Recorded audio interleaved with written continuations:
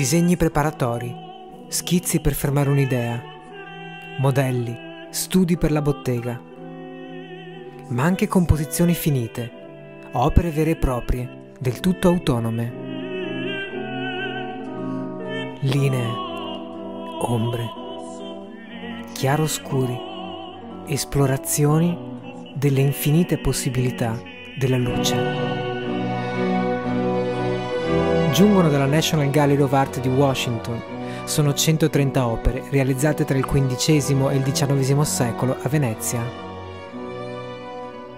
Mantegna, Bellini, Giorgione, Tiziano, Veronese, Tiepolo, Canaletto sono solo alcuni dei nomi dei grandi maestri presenti fino al 15 marzo 2015 al Museo Correr di Venezia.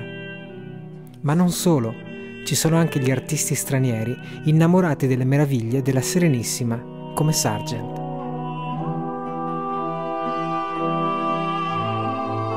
Un percorso affascinante, dove sullo sfondo c'è sempre e comunque Venezia, fonte di ispirazione e mito perenne.